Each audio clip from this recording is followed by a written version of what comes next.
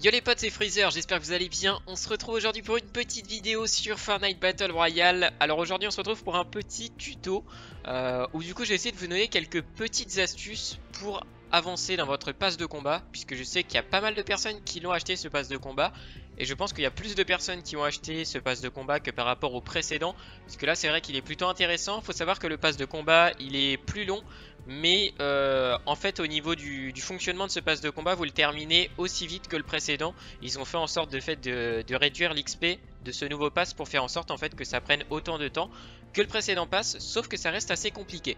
Alors moi personnellement, j'ai acheté aucun palier sur ce pass de combat, et c'est pour ça que je vais essayer de vous donner quelques astuces par rapport à mon évolution, vu que je suis actuellement au palier 47. Faut savoir que j'ai eu 5 paliers gratuits je crois, puisque j'avais acheté le pass de combat de la saison 2, donc c'était le premier pass de, de combat qui venait de sortir, vu qu'à la saison 1 il n'y avait pas de pass de combat encore. Donc là du coup, comme vous pouvez voir, je suis au palier 47. Ce qui est plutôt pas mal franchement, c'est assez long, il reste encore 55 jours de saison et euh, bah, je suis level 64 Faut savoir que je suis pas non plus quelqu'un qui joue 10 heures par jour à Fortnite ou quoi que ce soit. Je dois passer peut-être 2-3 heures euh, par jour je pense, après le week-end, bon c'est vrai j'y joue peut-être 6 ou 7 heures Mais en soi en semaine je joue pas non plus euh, des heures et des heures, hein. je passe 2-3 heures grand max. Donc du coup j'ai essayé de vous donner quelques astuces. Donc il faut savoir que lorsqu'il y avait déjà le pass de combat de la saison 2 on n'avait pas les nouveaux défis qui sont désormais disponibles dans ce, truc là. À l'époque on avait seulement les défis quotidiens. Moi déjà la première chose que je vous conseille de faire c'est bien évidemment les défis quotidiens. Et l'avantage en plus de ça des défis quotidiens pour ceux qui ne le sauraient pas c'est que vous avez la possibilité de les, euh, abandonner pour avoir un autre défi. Donc là actuellement comme vous pouvez voir j'ai survive à 150 joueurs en section et top 6 en section. Euh, on va dire que celui-là, top 6 en section, c'est un petit peu plus compliqué puisque du coup bah, il faut arriver dans le top 6 en squat c'est pas non plus hyper simple. Donc moi ce que je vous conseille de faire c'est d'abandonner les défis. Vous êtes sûr de pas trop euh, pouvoir les gérer. Donc vous les abandonnez du coup vous aurez un autre défi. Et donc là voilà du coup j'ai faire des parties 0 sur 7 très bien défi tout simple. Et du coup je récupère 500 d'XP et 5 étoiles de combat donc comme tous les autres défis. Donc ça déjà c'est une première manière pour gagner euh, de l'XP sur son passe de combat donc en gros comme vous pouvez voir ça fonctionne sur euh, en fait sur les étoiles de passe de combat dès qu'on en a 10 on passe en fait au palier 48 donc là actuellement je suis à 2 sur 10 donc là du coup quand je passe un niveau, quand je serai level 65, je gagne 5 étoiles de passe de combat. Et quand on passe tous les 10 niveaux, on a le droit aussi également, là comme vous pouvez voir, et eh bien, à 10 étoiles de combat. Donc c'est plutôt intéressant. Donc en gros on peut en gagner soit en montant en niveau ou soit en faisant les défis. Maintenant aussi Epic Games, vous le savez, a ajouté du coup un système de défis. Donc moi personnellement j'ai déjà terminé les premiers qui étaient présents, donc le défi du pass gratuit. Donc là du coup il y avait survivre aux adversaires, faites des parties avec des amis, le plus dur c'était gagner une partie. Bon tout ça c'est fait, atteindre le niveau 25 également, ça franchement c'était des trucs assez simples. On a eu également aussi la semaine 1, donc là aussi euh, la carte au trésor du Dusty Depot, je pense que vous allez dû, euh, vous avez sûrement dû la trouver en regardant des petits tutos sur internet. Moi ce que je vous conseille c'est vraiment de tout faire, tous les défis que vous pouvez faites-les parce que ça rapporte énormément. Vu que là, euh, là par exemple il y en a un que j'ai pas fait, donc autrement vous voyez que vous allez gagner je crois 5 ou 10 étoiles, il y en a que vous allez gagner un petit peu plus, il y en a vous allez gagner que 5 et en plus de ça vous gagnez de l'XP. Donc là vous voyez les 4000 d'XP ça me permet pas de passer un niveau mais euh, voilà de, bien avancer au niveau de ma jauge là ça me permettrait presque de passer un niveau et du coup de gagner 5 étoiles supplémentaires. Donc c'est pas négligeable non plus.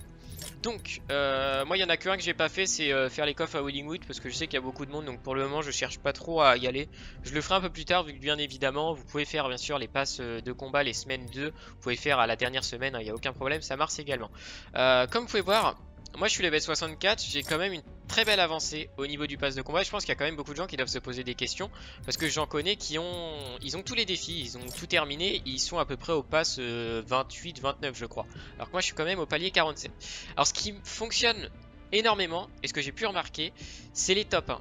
En fait si vous voulez sur le jeu, vous avez un, à, la fin, à la fin de la partie quand vous mourrez ou soit quand vous gagnez, vous avez, vous avez la possibilité de voir les statistiques et du coup en fait vous avez un bonus sur les éliminations, un bonus sur la durée de survie et également sur le placement.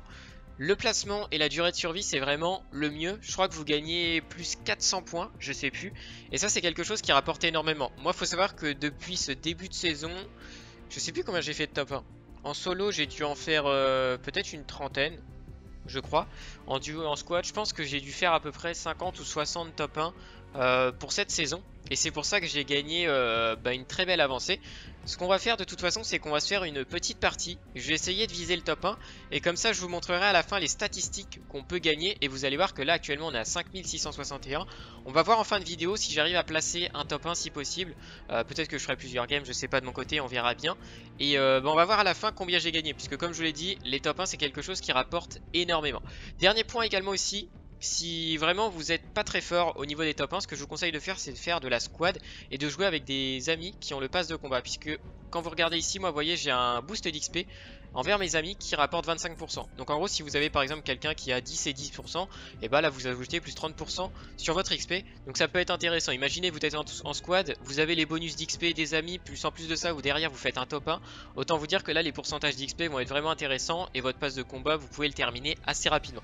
Ça aussi c'est des petits conseils mais personnellement je préfère vous donner des astuces plutôt quand vous êtes en solo. Alors ce qu'on va faire c'est que je vais directement lancer une partie, on va essayer de viser un top 1 et vous allez voir eh bien l'XP qu'on peut gagner si on arrive bien sûr à terminer en top 1. Du coup on est parti, alors où est-ce qu'on va aller? On va essayer de peut-être prendre une zone safe pour essayer de placer un top 1, ça serait mieux. Euh, on peut aller à Salty. Tilted on va éviter parce qu'il y a des duels aux pompes, on peut très bien réussir à Salty et très bien euh, mourir en, l'espace de quelques minutes. En vrai je pense qu'on peut aller à la tomate. Je vous avais déjà présenté ce spot. On va essayer quand même si possible de faire au moins plus de 5 kills ça serait cool. Parce que aussi on a de l'XP au niveau des kills mais vous allez voir que c'est pas seulement les kills.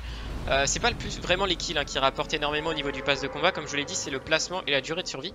Vous verrez de toute façon à la fin en espérant qu'on arrive à gagner euh, bah, cette game parce que là on aura vraiment masse d'XP alors euh, je pense qu'on va aller dans les maisons très très loin. Et après on rejoindra au niveau de la tomate où sont fait directement, directement les maisons. On va voir comment ça se passe. Est-ce qu'il y a des gens déjà? Je vois personne. J'ai l'impression de voir personne. Ouais, bah écoutez, hein, tout est à nous, j'ai l'impression. Je crois que tout est à nous par ici. Ok, bon, on va en profiter, hein, les gars. On va en profiter, on va essayer de se loot un max, essayer d'avoir euh, sans vie, sans shield. Pour essayer d'assurer la game. Alors, c'est parti. Ah, on se prend un petit peu de bois. Tac. Là c'est bien, on a déjà un pompe chasseur, donc c'est ce qu'il faut. Ok, on a une AR, très bien. Il y avait le coffre je crois, ouais, il y avait le coffre. Je l'avais entendu. Ok, très bien, on commence avec du shield, on a tout ce qu'il nous faut, on a la base. L'air et le pompe, c'est le plus important, début de partie. Hop,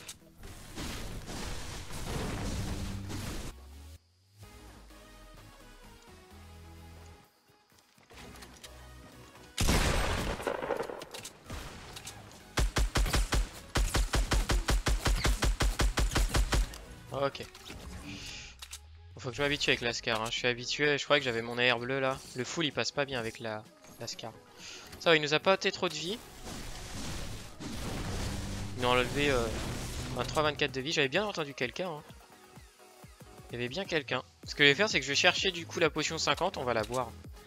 Comme ça, on va se remettre euh, full shield.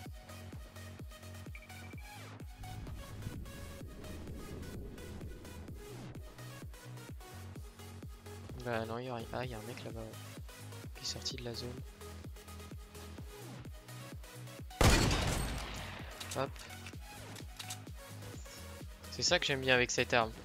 C'est que le gars, s'il est full shieldé, bah, il comprend pas trop.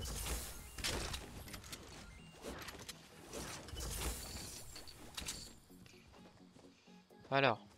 Ok, il y a un loot qui se fait tirer dessus. Ça, c'est le loot de... qui était à Anarchien, je crois. J'avais bien raison, hein. je suis un ennemi. Il y en avait bien un.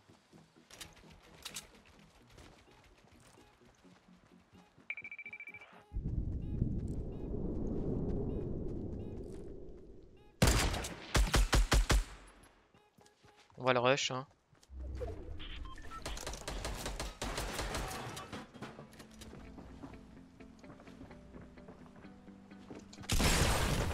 Hop. Il ne reste plus qu'un. Ok, je l'ai vu. Ok, tranquille, on a l'avantage là. Enfin, on a l'avantage. On est bien, on va dire. Alors. On le retouche. T'as pas pris de dégâts de chute, tant mieux.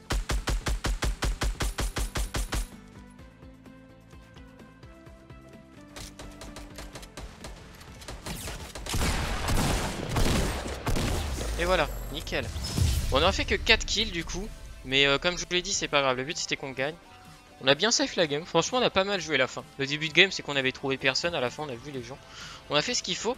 Du coup, quand on regarde maintenant dans les stats de la partie, regardez, vous allez voir durée de survie. Ouais, les, éliminations, on a gagné un petit peu moins vu qu'on en a pas fait beaucoup.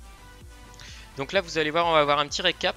La durée de survie nous a gagné plus 238 d'XP hein, bien évidemment, le placement plus 300. Donc rien que le fait de faire un entre guillemets un top 1, eh bien on a 300 plus 238 et à la fin on a aussi surtout le bonus de passe de combat qui est vraiment bien puisqu'on gagne plus 519 et ça c'est vraiment intéressant. C'est plutôt cool. Et après au niveau d'élimination, vous voyez 50 et 60, c'est pas énorme. Mais euh, vous voyez que là on a bien gagné, on a gagné à peu près 600, 700, 800, 900, 1000, ouais dans les 1100 à peu près de plus, ça veut dire en une game. Donc c'est vraiment pas mal, sachant que je suis level 62, j'ai besoin de 10 000 d'XP pour passer niveau supérieur, mais franchement c'est pas mal. Et eh bah écoutez, j'espère que cette petite vidéo vous aura plu, n'hésitez pas à lâcher un petit pouce bleu, et puis nous du coup on se dit à la prochaine les gars